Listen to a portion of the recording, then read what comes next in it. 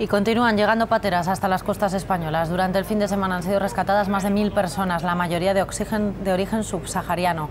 Y solo en las últimas horas se han localizado otras 18 pateras en aguas del estrecho, con otras 382 personas a bordo, entre ellas muchas mujeres y niños.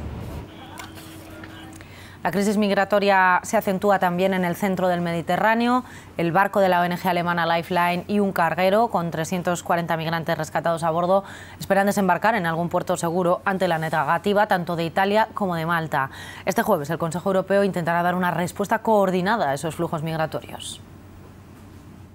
Es un nuevo caso Aquarius. Esta vez la embarcación con bandera holandesa es de la ONG Lifeline y lleva varios días a la deriva en el Mediterráneo con 230 migrantes rescatados a bordo. Sus responsables aseguran que tras la negativa de Italia y Malta a recibirlos, han escrito una carta al gobierno español pidiendo ayuda.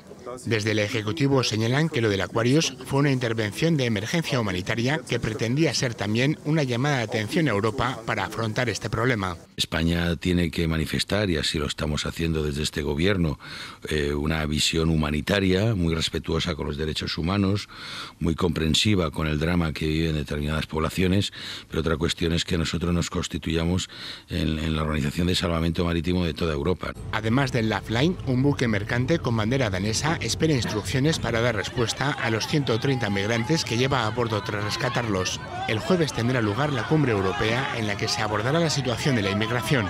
Francia y España llevarán la propuesta planteada este domingo en una minicumbre informal para crear centros controlados en países de la Unión Europea en los que desembarquen los inmigrantes.